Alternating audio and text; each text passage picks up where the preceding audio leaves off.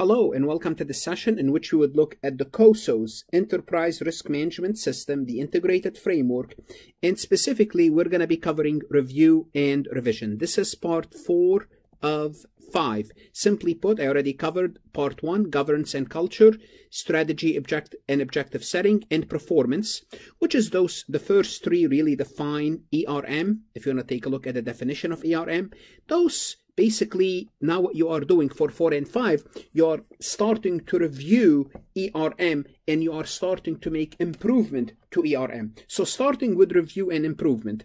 But before I start most likely if you are listening to me you are studying for your CPA exam.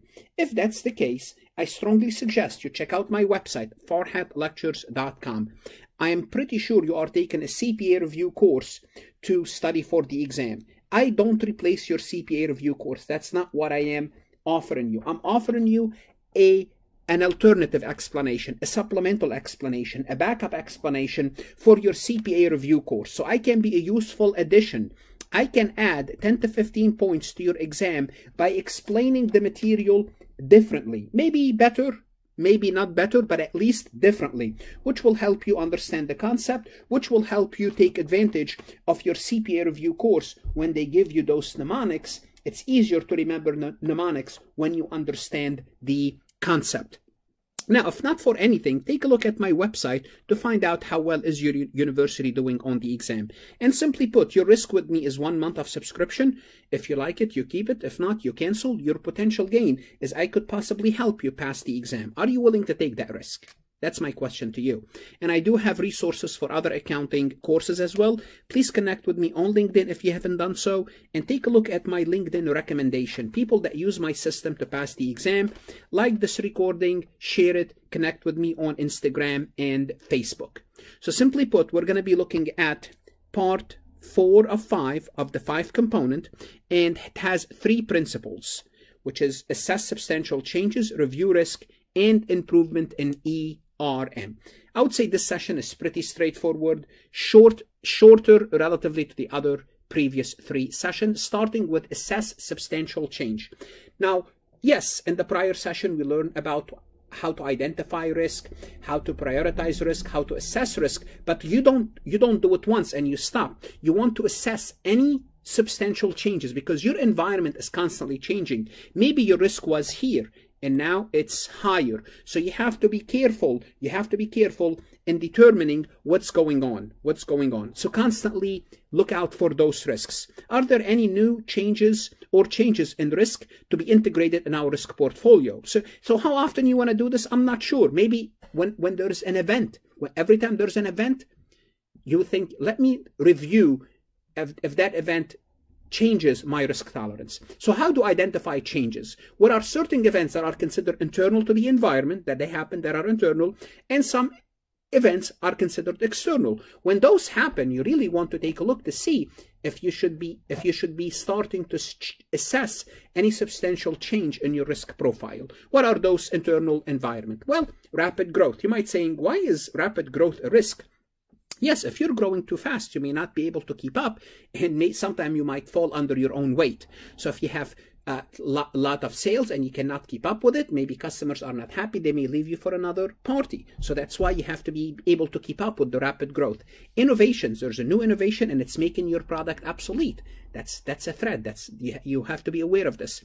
Constant employee turnover. Your employee are constantly leaving, so you don't have good employees. Or you have a new, not new, new CEO, CFO, um, CRO, Chief Risk Officer, etc. You have leadership changes. Well, that's gonna that's gonna that's gonna change your culture, and as a result, it might change your risk profile. And we also have, and these are not the only factors, there are other factors, and there are external factors. Usually it's a regulatory environment, there was changes in how the FDA approves certain product, or how the FAA, or how the government, or how the SEC, whatever report the SEC want, that's external Um, regulation, I mean, we might be going through an economic recession. As a result, your risk profile might change, or economic expansion for that matter. New administration. For example, now we have Biden instead of Trump. What's going to happen to taxes? What's going to happen to climate change regulation? Well, those are new factors, external environment that might increase your risk or reduce your risk. So you want to constantly be assessing any substantial changes. Well, a case in point, COVID-19. That's a huge risk. That's external to your environment, and you have to deal with it. So first, you have to assess any substantial changes. Then you have to review. You have, you have to constantly, periodically review risk and related performance. Again, it's not you do it once and you just forget about it. You have to review it. How are you doing on a constant, constant basis? You have to review that. Okay. Are there any risks that's becoming greater than our risk tolerance? Because maybe the risk is now becoming so great that we cannot tolerate that risk. So the actual risk, remember, has to be less than our risk tolerance. You have to look for any unidentified risk. And this is an important concept because, uh, because once uh, Bill Gates was asked, what keeps you awake at night when, you know, Microsoft was, and I'm sure it's, it's, it keeps him awake at night now. What keeps you awake at night? He said, some new person that's coming up with a new product that I'm not aware of, which is unidentified, risk. So that's the most, that's the, that's the, that's the, that's the worst type of risk because you're not aware of it. It comes to you from the side and you're not aware of it. So how can you find any unidentified risk? Use data, at artificial intelligence, always look at new research, what's going on in the industry. Or when you, when you do, when you review risk, you want to see if you're improperly assessing risk. Did we estimate the risk properly? Uh, what could be an example of that? For example, let's assume we're an airline company and we want to, every year we want to increase our, uh, our, like for example, per day we have three trips, three trips to the West Coast on a daily basis. Then a year later we said, okay, let's now try five, five trips to the West Coast. Well, guess what? Three was, you know, we were really handling three very well. And even with five, we're handling five very well. Maybe you want to increase that to seven seven trips per day to the West Coast because we were not really properly assessing, estimating our risk properly. That could, that could be an example of it. Or could be opportunities to accept more risk. For example, let's see, maybe we want to start to go to Mexico, have two flights to Mexico City. Okay, there are opportunities to uh, to accept more risk? Are we taking sufficient risk in our company? So you, you want to constantly review this. Okay, so you need to revise target performance or tolerance on a regular basis. And you do so by changing your business objective, your business strategy, your culture sometime, risk prioritization, how you prioritize risk, how to respond to risk, and your risk appetite. And obviously, when you change those, they have to be approved by the board of director. So this is what review risk means on a regular basis. Take a look at your risk situation. Are you taking enough risk? Are you taking too much risk? Are you not taking enough risk? Okay, and adjust accordingly. The third component is improvement in ERM. So you have to continuously improve your process. So continually improve ERM at, at all level because the, the business environment is very dynamic these days, and I hope you know this. I mean, product, they become obsolete back and back like maybe 25, maybe 30 years ago, maybe, yeah, I would say 30 years ago and older, you know, the product cycle would look something like this. See? So it will take time until the product cycle reaches a, reaches a peak, then it goes down. Nowadays, the product cycle looks something like this. So it reaches a peak, go down very quickly, reaches a peak, go down very quickly. So you are in a dynamic environment. So you have to continuously review, revise your risk, improve your ERM.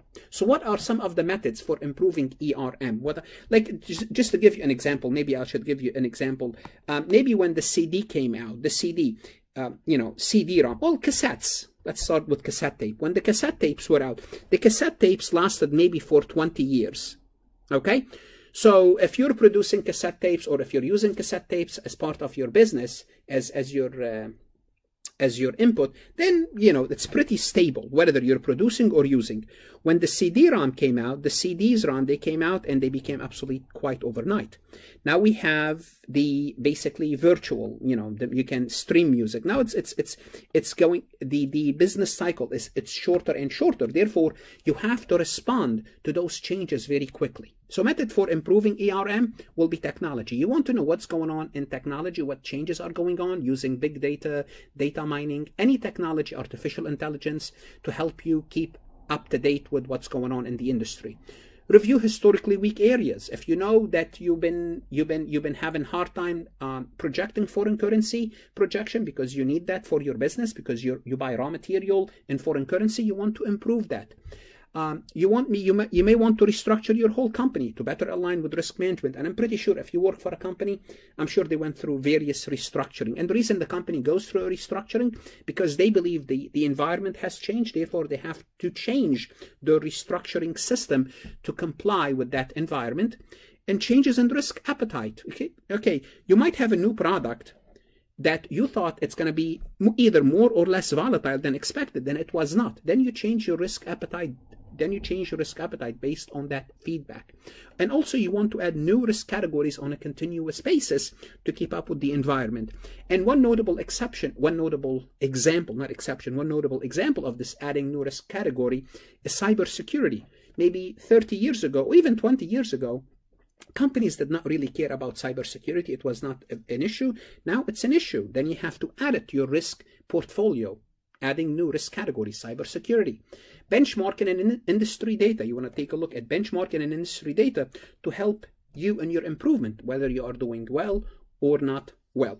So simply put, we covered those four sections so far. The last section is information, communication, and reporting. And there are three principles, and notice in total 5, 10, 14, 17, and we'll cover 20 principles.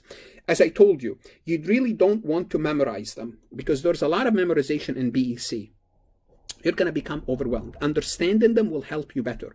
And that's why I go each over each one of them separately to help you understand the concept. If you understand the concept, hopefully they will make sense. Once they make sense, you can, you, by practicing multiple choice, then it will become easy for you to answer the actual multiple choice on the exam. So understanding them plus practicing will help you prepare for the exam without without relying on your memory. Now it makes sense. So you don't have to use those memory cells to remember them. You use your memory cells for something else.